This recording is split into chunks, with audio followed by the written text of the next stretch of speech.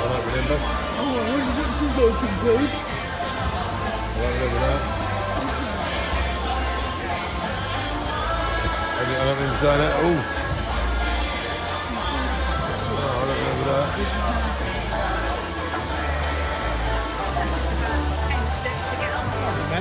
Ladies and gentlemen, this is half time at this spectacular show at the Hippodrome in Great Yarmouth.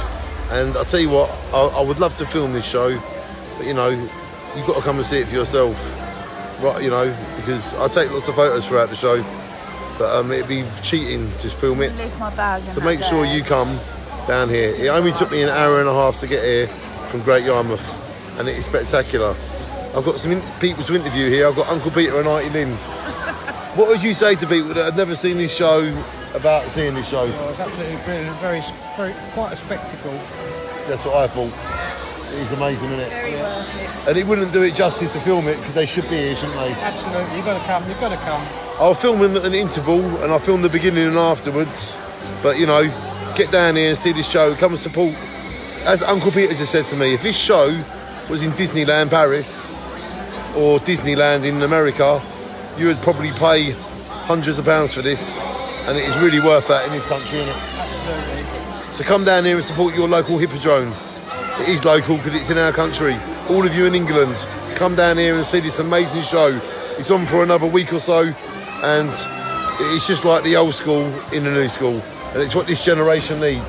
So Summer not, show, yeah, they got the summer show, the Halloween show, Christmas show. the Christmas show, and this is the Easter show. Four shows a year, and I've done two out of two, two out of four. So shine on and get down here.